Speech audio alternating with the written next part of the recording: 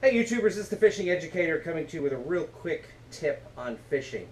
Uh, remember, all of my fishing videos are to help you catch fish. I don't want to make fishing complicated.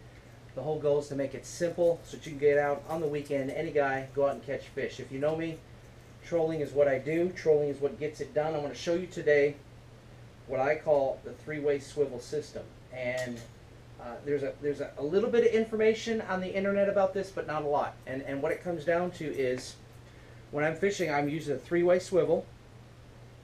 I will have a crankbait that's about 18 inches on one end, and on the other end, I will have a spoon. And so the idea here is this crankbait, and this is a Rapala TD11, one of my favorites. Uh, you let 200 feet of line out, this will go down 35 feet. Uh, and so um, what happens is this will deploy my lure to the depth I want to go. Sometimes I get a fish and I get a hit on this, sometimes I don't. But back behind here at about 24 to 36 inches, I have a spoon. Uh, it's a Nantahala nailer spoon, uh, popular green and gold color that I like to use.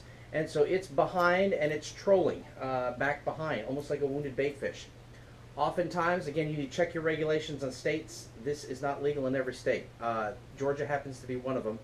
Uh, so we are able to use this, and if you'll count, there's one, two, and three hooks. And so three hooks is usually uh, the limit, so this does not break the law. Uh, but again, check your regulations on your state. Uh, you don't need to be getting in a lot of trouble doing this. But anyway, um, very effective. And what you basically have is I will have a couple of rods, two, three, four rods that are deploying this.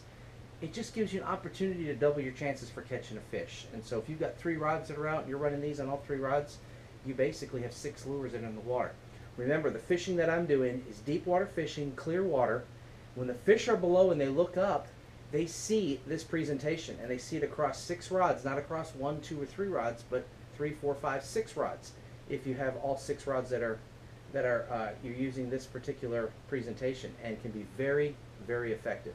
Oftentimes, when I catch a fish on the front end or the back end, fish get really competitive and what do they end up doing? They end up hitting the other lure. And so I've uh, caught fish, uh, two fish on actually one line. I've got some video of that too, if you check my other videos. If this was helpful to you, be sure to like and subscribe. Remember, my fishing page, the Fishing Educator page, is all about teaching you how to fish, teaching you the simple ways, not making it complicated so that the average guy can get out there. Average guy, girl, kid, whatever the case may be, can get out and fish. Good fishing. Be sure to like and subscribe. Have a great day. Thank you.